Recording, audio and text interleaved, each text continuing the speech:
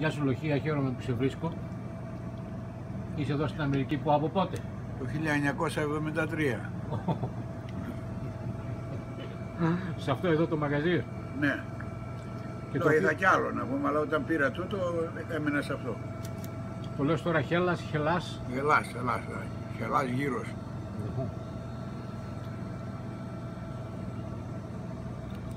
Πώς ήταν η ζωή τότε εκεί και εδώ, όπως μου έλεγες πριν; Η ζωή, όπως είπα ακριβώς, ήταν γη της Χαναάν που λέμε.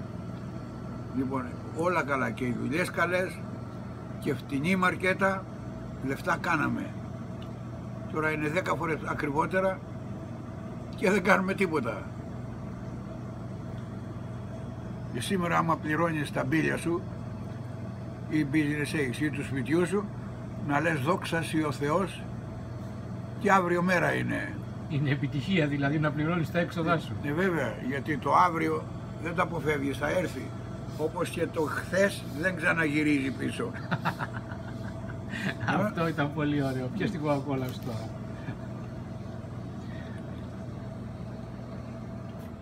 Και το Λοχίας πώς σου βγήκε; Ο Σταμούλης ο Λοχίας ήταν πραγματική ιστορία. Α, όχι μόνο τραγούδι. Από την Αμφιλοχία. Μμ. Οκ. Την ημέρα αυτή ο αδερφός μου ο μικρότερος εσχόλασε τον ψήστη.